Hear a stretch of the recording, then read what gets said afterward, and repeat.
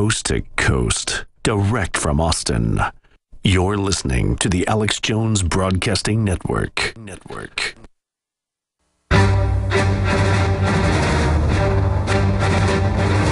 Big Brother, mainstream media, government cover ups.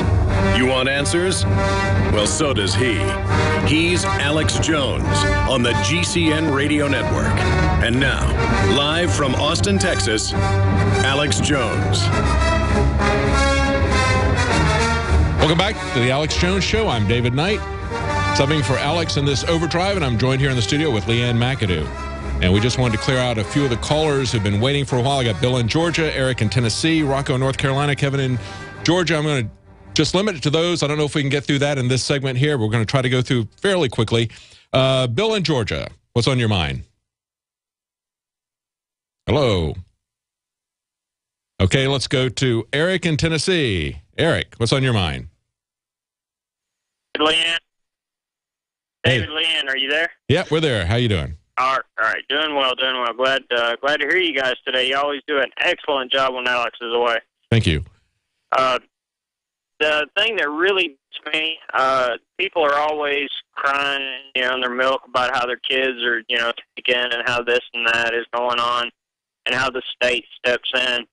People forget that that birth certificate that they sign when they have the kid in the hospital pretty much puts them in state custody from day one. Mm-hmm. So, I mean, you know, we're a debtor nation. They own us from the time that, that we're born until the time that we die and they sign that death certificate. Um, you know, if people realize that more than they do, I think that it would change a lot quicker in this country. Yeah, very good point.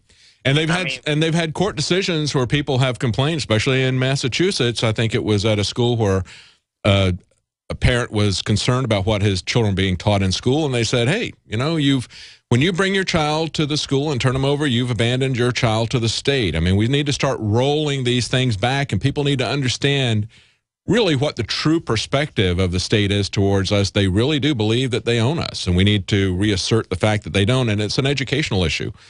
Thank you very much, Eric. Let's let's go to. I want to try to get through as many calls as we can. Let's go to Rocco in North Carolina. Hey, David, thanks. Hey, Uh, I've been really amazed how all across the board, no one's really covering in detail the plans for this Article 5 convention. There's so many players and uh, divergent groups coming into place. You have the Convention of States people, uh, Glenn Benchup on board, yeah, Mark Levin, Rob Natelson. yeah. That's Uh, not a fine. that's not a solution. You know what? What the problem is? The problem is not our Constitution. The problem is that we got a gang of criminals who are running our government who don't pay any attention to the Constitution or their oath to it. That's the real problem. And unless we get that changed, a constitutional convention, as far as I can see, can only make things worse because you if they don't obey the law now, what makes you think if you had a better law they would obey that? But of course they can always come in and give themselves legal cover to to remove the restrictions that they currently have. Is that your take on it?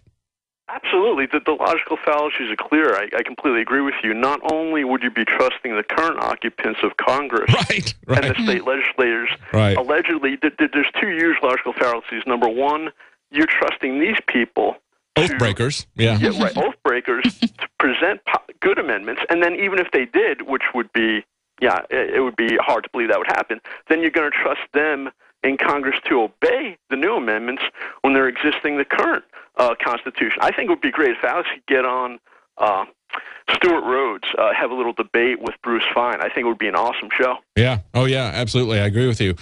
It's it's absolutely insane to think that these people would have the integrity to change something. But you know, once they pay attention to that, once the the jurisdictions of Washington D.C. and Chicago start paying attention to Supreme Court decisions on the Second Amendment as well as to the Constitution, then I'll agree that maybe they've got something there. Let's go to uh, Kevin in Georgia. Kevin, I can't talk. Hello?